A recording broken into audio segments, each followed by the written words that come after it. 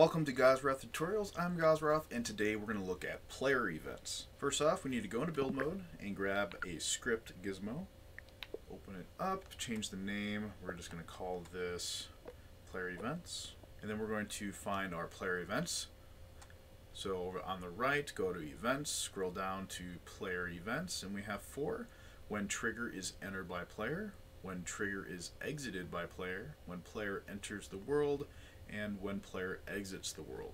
These four events will allow us to run code when these things happen. So when we enter or exit a trigger or when the player enters or exits the world.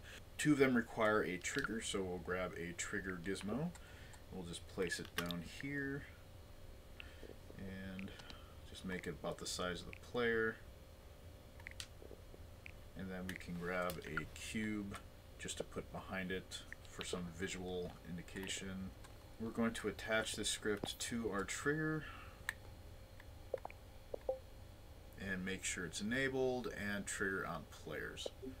We're also going to grab a text gizmo. We're going to place it right above our cube.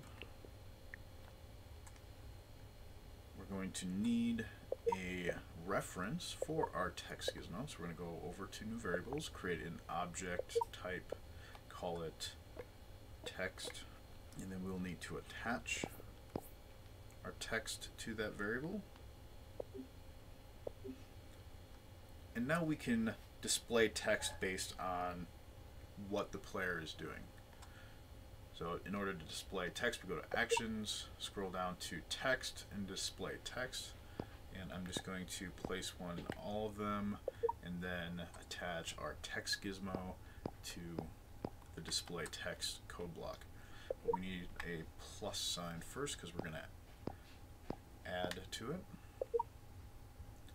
Input our string variable. And then we need the name of our player. So we'll just go down to player variables under operators and we'll grab name of player. Drop that in there and then our player variable. Alright, so now when our player enters that trigger, it will display name of player plus enter trigger on that text box.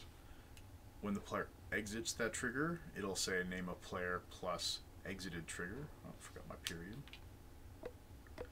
When the world is entered by the player, it'll display name of player plus entered world.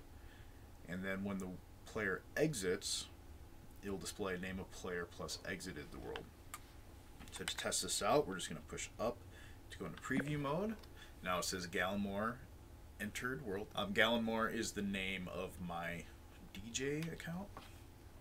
Now we're going to walk into the trigger, enter trigger. Now I'm going to leave the trigger, exited trigger.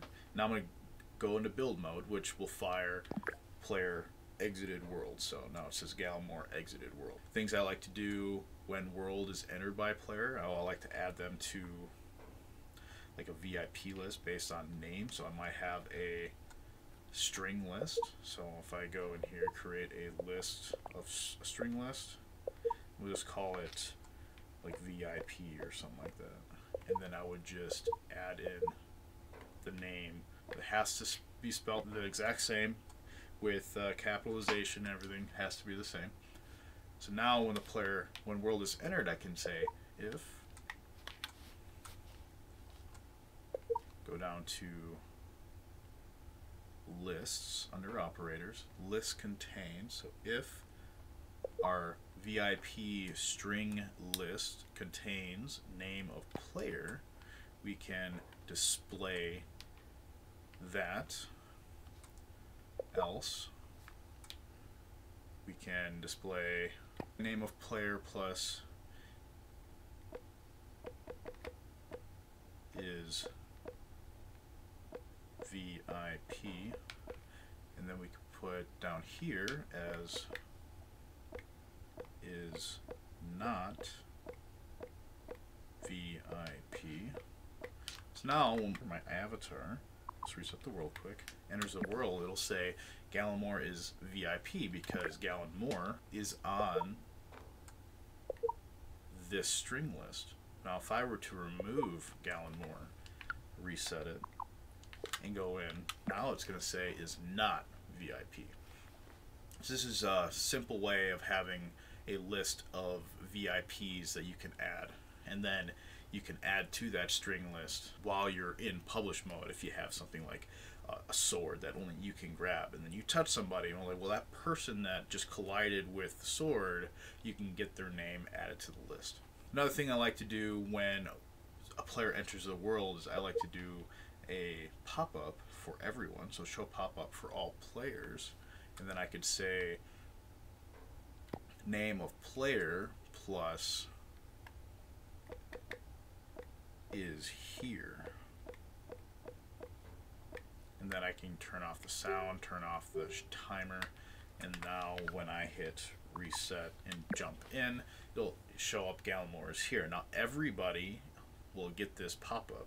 And that is just a couple things that you can do with the player events. So that is all of the player events. There are several other ways of getting the player variable that I have covered in other videos. So for instance, we have collision events. We can get when uh, colliding with player. There are projectile events, so when projectile hits player. There is grab events, when object is grabbed by player. And attachable events, so when object is attached to the player. And when achievement is completed.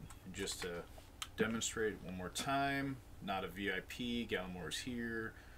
Gallimore entered trigger. Back up. Exited trigger. Go out of the world. And it says Gallimore exited.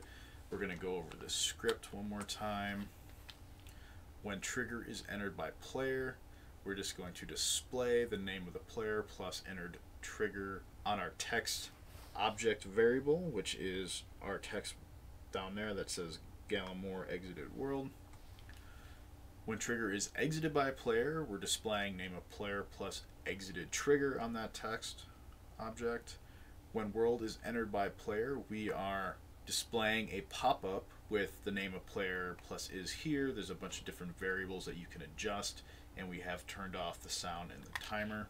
We're also checking if the VIP string list that we have created in our variables, which I have removed Gallimore from, we are checking to see if the name of the player that entered, if any of the names are in this list, it'll display name of player plus is VIP on that text box. Else, it'll display name of player plus is not VIP on that text box. Then when the world is exited by the player, we're displaying name of player plus exited world on that text box. If you have any comments, questions, or concerns about this video or have suggestions for a future video, please let me know in the comment section below. Also, if you liked the video or if you learned something, please don't forget to like, subscribe, and hit that bell so you're notified of all my future videos. I'm planning on a video a week. I have been making that since the new year and hopefully we can continue on at that speed. Thank you for watching and have a good one.